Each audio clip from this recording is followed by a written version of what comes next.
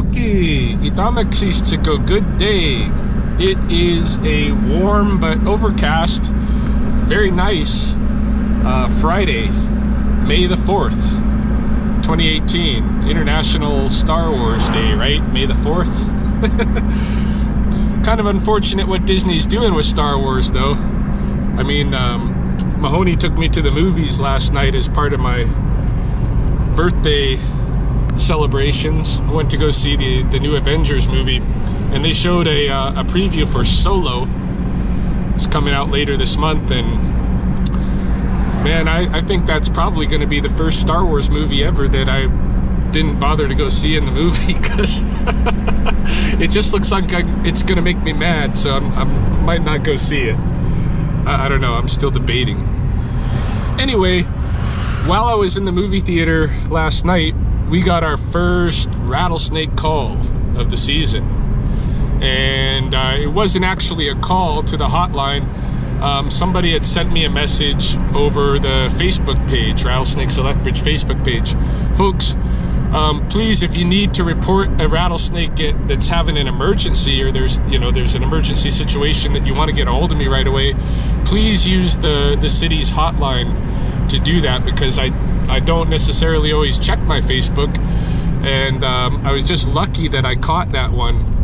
So I, I walked out to use the washroom, and I just kind of quickly glanced at my messages and stuff, and um, I had this snake call. So what I was able to do was get a hold of Sherry Merchant uh, with the with the city. Uh, who helps me out with rattlesnakes and she went over and picked up the snake unfortunately it was down in Popson Park uh, on the road down there and it had been hit by a vehicle. Um, Sherry took it home with her because she thought maybe, you know, some possible chance I could help it.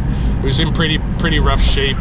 Um, she knew before I got there that the, the thing was not going to make it, but uh, she waited for me to get there, and I, after the show, and I ended up dispatching the snake. Um, surprisingly, even though it was a mature snake, it wasn't one that we've come across in the last five years of um, this project, anyway. So, but there's still a lot of snakes out there that I have yet to encounter, I believe. Any case, that was our first snake of the season, and right now I am headed down to Paradise, Paradise Canyon Golf Club, to pick up our second snake of the season. Um, so we'll see we'll see what it is there.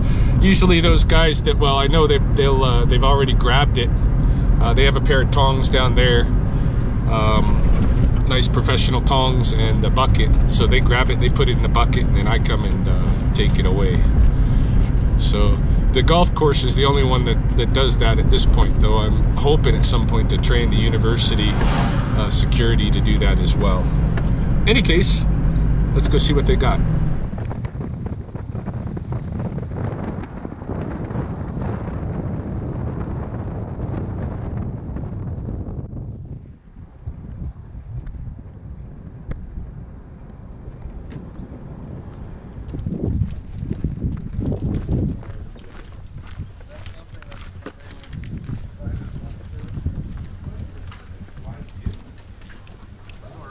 Hey.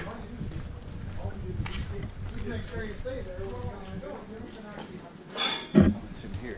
It is, it is. Oh, we have a snake, eh? Yeah, yeah, we do. Sorry. Surprise.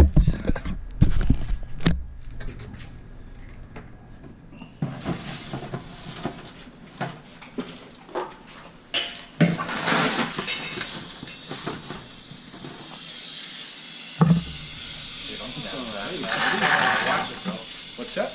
I'm standing back.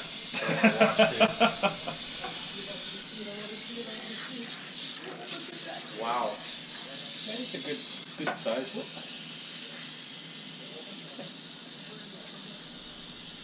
Comes in shorts and sandals to do the job. Oh my goodness. That is. Wow. All right, that's enough. I don't want to see you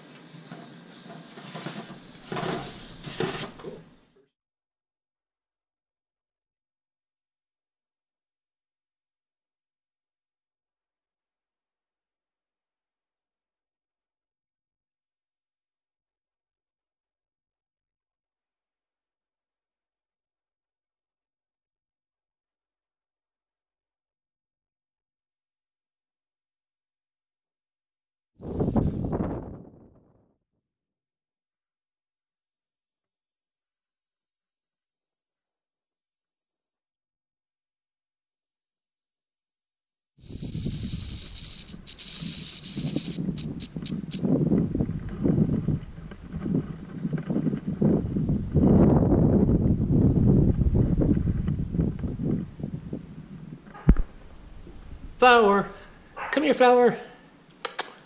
Oh, oh, little girl, little girl. Oh, oh, oh.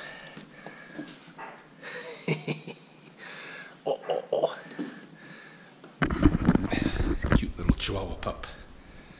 This is my sister-in-law's dog, and we are babysitting for the weekend.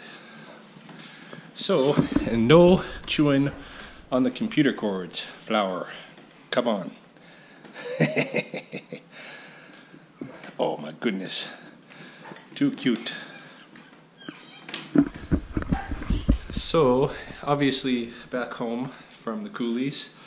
Um, but what you saw in that snake release was basically whenever I let go a snake, um, I take a, a picture of it in the bucket in the container that I'm using. Um, or if I can't take a good picture in there, I'll put, I'll put it on the ground and take a picture of it. But I want to get a, a good picture where I can see the distinct pattern designs that of individual snakes on their back. Um, the, the pattern breaks usually is what I'm looking for. But in this particular snake, who I think was a female, um, her colorations were female, although her tail after the cloaca looked a little long, more more like a male's. So sex is indeterminate. But what was interesting was her patterning. It was so even without pattern breaks, and that's pretty unique. I've only encountered a, a couple of snakes in the last five years that had that that kind of trait. And looking with this one, um, since her patterning is so even all the way down her back, what I what I used for identification or what I looked at for her was the the real details of the patterns around her head, which are pretty unique. Um, and then right as it gets toward her tail end, um, some of the some of the lines on her back kind of narrow down to the right hand side, become more more pointed.